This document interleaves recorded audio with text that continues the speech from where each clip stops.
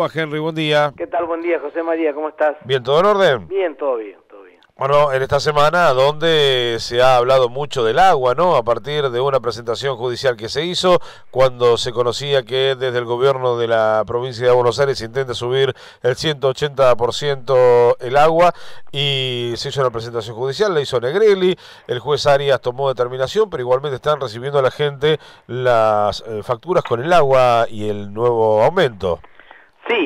Creo la última, una de las últimas veces que conversamos eh, charlábamos de la importancia del, recurso de amparo que había presentado el diputado Negrelli junto a la defensora ciudadana de La Plata y algunos particulares, que el juez Arias falló eh, planteando la suspensión del aumento solo para la, para la ciudad de La Plata.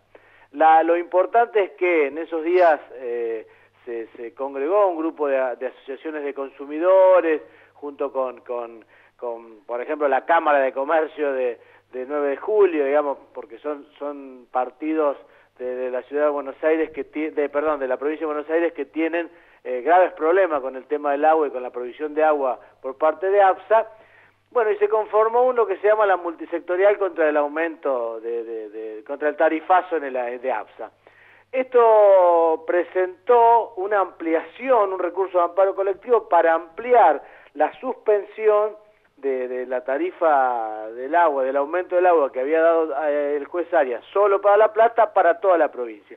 Ayer el juez Arias falló en este sentido, amplió a toda la provincia, con lo cual lo que suponemos es que los vecinos han estado recibiendo, los usuarios han estado recibiendo la, la factura, pero mientras la medida cautelar dictada por el juez Arias esté vigente, no se puede cobrar este aumento. Digamos, entramos en ese, en ese lugar difícil eh, porque, digo, yo no quisiera decirle a un usuario no pague el aumento y que después la empresa, que está medio acostumbrada a hacer lo que quiere, le, le genere algún problema. Pero me parece que en estos días, porque todavía faltan varios días para el vencimiento de la factura, en estos días vamos a tener novedades respecto a si tenemos que pagar con el aumento, solo vamos a poder pagar con la eh, con la factura pasada, por ejemplo, para, para pagar lo mismo que pagamos el mes pasado, sin, sin el aumento. Sí. Yo creo que, José María, que es muy, muy importante el fallo del, del juez en lo contencioso administrativo Luis Arias, eh, porque no solo marca algunos errores eh, que ha cometido la, administración provincial, eh, donde digo, hay algunas barbaridades jurídicas, donde una ley que fue la que privatizó obras sanitarias en el 96, que es la 11.820 y marca todo el marco regulatorio para el tema de aguas, para el servicio de aguas y cloaca en la provincia, eh, fue derogada por un decreto en definitiva, ¿no? Porque ah, se, dicta un decreto en el 2005 ya con AFSA eh, en marcha y, deroga, pero casi de pasada, digamos, y se, deroga hacer toda norma que, que, se oponga a, este decreto, pero bueno, digamos, todos sabemos que en el en, la estructura jurídica de, un país, primero está la constitución, después las leyes y después los decretos o las resoluciones. Entonces, digamos, acá se olvidaron un paso, olvidaron que hay una ley que habla de las audiencias públicas. Entonces, no solo el juez Aria marcó eso, sino que además marcó la importancia de la participación de los usuarios en, la discusión, la, la, importancia del, del, artículo 4 de la, de la Ley de Defensa del Consumidor, que es la, la información a los usuarios que no se le ha dado, entonces, bueno, todo esto me parece que, más allá de cómo, de cómo, de cómo siga o cómo termine, porque te imaginas que la empresa va a apelar, eh, el gobierno provincial está muy interesado en que esta empresa pueda recaudar este año 400 millones para, pero no estamos hablando para agregar un metro de caño en toda la provincia, sino que es para que se pueda sustentar, autosustentar la, la empresa. Entonces, digamos, creemos que es, eh, es grave que se esté planteando así, porque digo, en ningún momento se dice, bueno, vamos a aumentar, pero esto es para poder hacer la obra que necesita 9 de julio, la obra que necesita Bahía Blanca, eh, la obra que necesita, las obras que necesita la ciudad de La Plata, digo, que, tiene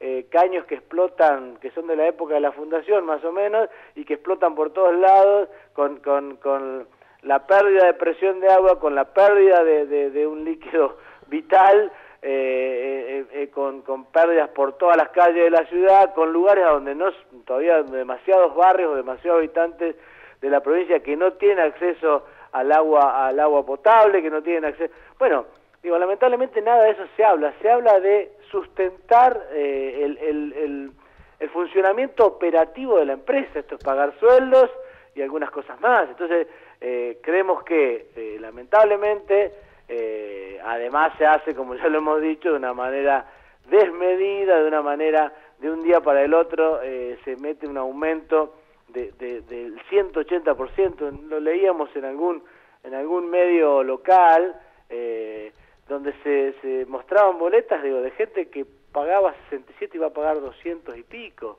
digo, es, es un golpe al bolsillo muy importante en una provincia donde los empleados que mejor lo aumentaron, lo aumentaron el 21%, 22%, ¿no?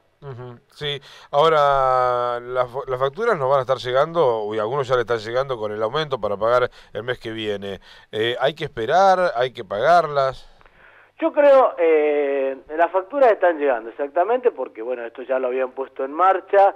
Eh, eh, peor para algunos, digo, mi caso particular, yo hace un tiempo adopté la, el pago por débito automático. Digo, me acabo de fijar en, en, el resumen de la tarjeta el mes que viene y me, y me han descontado, eh, ya me lo han descontado, con lo cual tengo que hacer todo una discusión, no solo con la empresa, sino con la tarjeta. Eh, y para la gente que utiliza el, el, llamado home banking y eso también eh, ya les figura en las agendas de, de pagos, eh, le figura el pago con el aumento.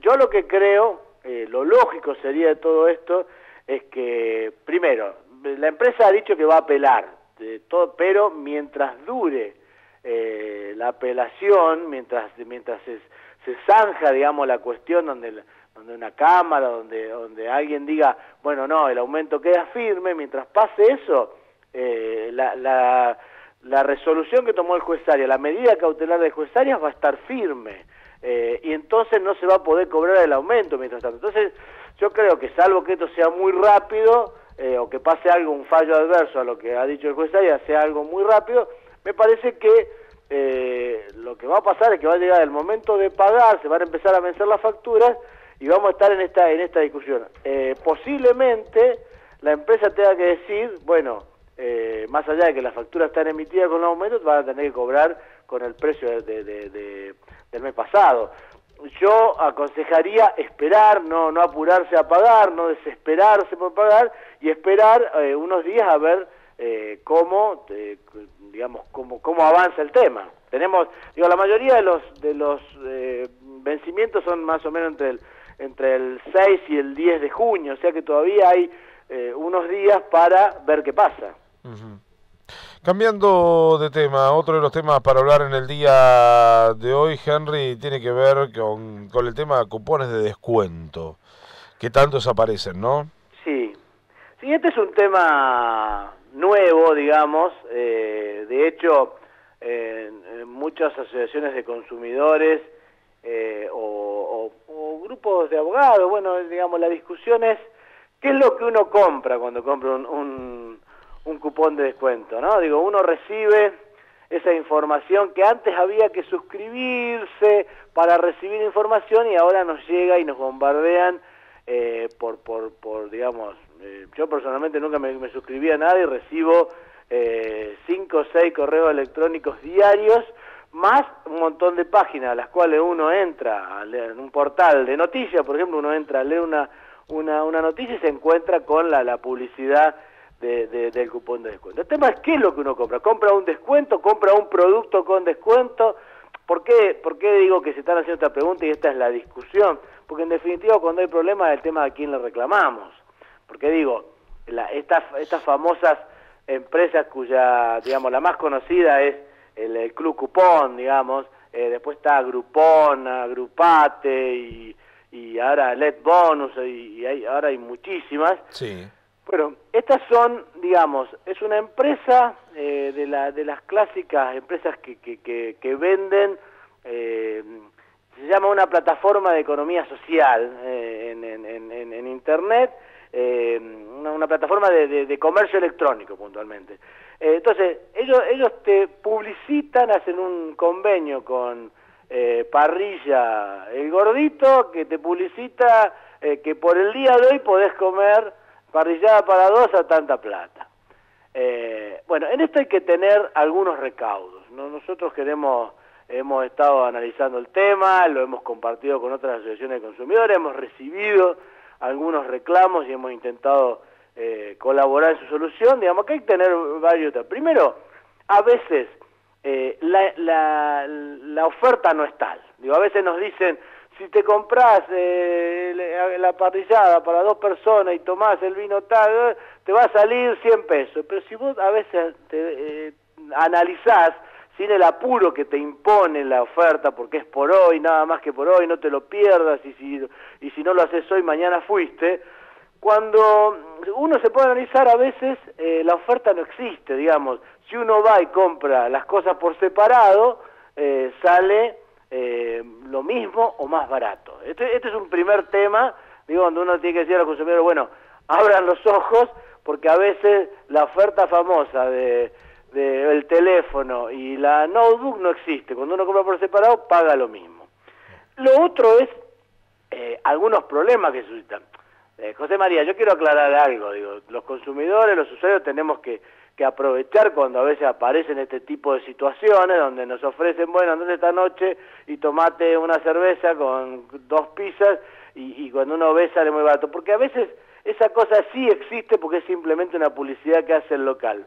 Pero a veces nos pasa que compramos un turno eh, para, para una sesión de spa, o peor aún, eh, acá se venden viajes, se venden eh, estadías en hoteles, eh, se venden cosas mucho más, eh, digamos, más caras y mucho más importantes que simplemente, eh, digamos, una, una cena en una pizzería o en una parrilla. y lo que, bueno, lo que hemos visto, lo que hemos podido analizar es, cuando uno va a sacar el turno, como lo hizo por la, como compró el descuento, o lo compró con descuento, eh, el hotel nunca tiene lugar y nunca es en las fechas, por ejemplo, feriados largos o, o, semana, eh, ¿cómo se hizo? Temporada alta, siempre hay que esperar en, los momentos en que no hay gente. En los turnos de spa a veces cuesta mucho conseguir el turno. Ha pasado que eh, gente que ah, no ha podido conseguir el, el, digo cito esto porque porque porque conocemos un problema concreto digo eh, que ha dado mucha ha tenido muchas vueltas para conseguir el turno y cuando lo consiguió le dije, ah, no, la promoción ya terminó. Eh, o gente que ve una foto de un acolchado muy lindo, eh, que, que muy barato y que cuando va, de, digamos, lo que le ofrece está muy lejos de la foto. Eh, y que entonces cuando dice, bueno, cambio por otra cosa, le dicen, sí, puede cambiarlo, pero digamos, eh, el caso concreto que yo digo, habían comprado un acolchado de 250, lo habían pagado 123. Eh, entonces cuando quisieron cambiar, dijeron, bueno, quiero comprar algo de 250 y pagar 123. Le dijeron, no, no, usted puede gastar solo 123. O sea que eh, estás eh, haciendo una compra que ni pensabas y te terminaron obligando a eso. Claro, y además, como uno paga vía tarjeta de crédito, eh, después cuando vas a hacer reclamos, los 0800 de la, de la empresa no existen, los, los eh, digamos, los reclamos no, no hay a quien hacérselo, eh, o a veces demora mucho tiempo en, por ejemplo, enviarte el, el, voucher vía mail para que vos puedas ir a hacer tu descuento. Entonces, nosotros lo que decimos en esto hay que tener mucho cuidado, no dudar de que son responsables por igual y solidariamente tanto la empresa que se está beneficiando con la publicidad, porque vos pensás que durante un día eh, son millones de personas que ven esa publicidad, como la otra empresa que lo único que hace es ofrecerte un descuento y que a veces cuesta después encontrar a dónde, a dónde reclamar. Yo digo, eh, no es casualidad que en estos días nos invadan tantos mails y hayan aparecido tantos grupos que ofrecen estos descuentos, porque, como te decía, la más importante, que es el Club Cupón, en el año 2011, eh, digamos en el primer trimestre del año 2011, facturó eh, 15 veces más que en el año, en todo el año 2010. Y, digo, y no estamos hablando de un millón, estamos hablando de 650 millones de dólares porque esto es algo que está en todo el mundo. Entonces, digo, eh, hay que aprovechar a veces estas ofertas, esto es lo mismo que hemos dicho alguna vez cuando uno, un hipermercado hace una oferta, hay que ir y aprovecharlas, pero hay que hacerlo con los ojos muy abiertos y en algunos temas, en algunos temas yo personalmente recomendaría cuidado porque después la, la, la, oferta termina saliendo o muy cara o algo que compraste que nunca lo vas a conseguir, como decía, eh, capaz que un viaje que cuando, cuando nunca podés viajar o el hotel no existe o cosas por el estilo y después cuesta mucho reclamar, porque el tema es ese, ¿a quién le reclamamos? Un abrazo, Henry. Un fuerte abrazo, nos vemos. Henry Stenmeyer, que semana a semana nos tira algunos datos interesantes que tienen que ver con el consumo y los derechos que cada uno de nosotros tenemos como consumidor.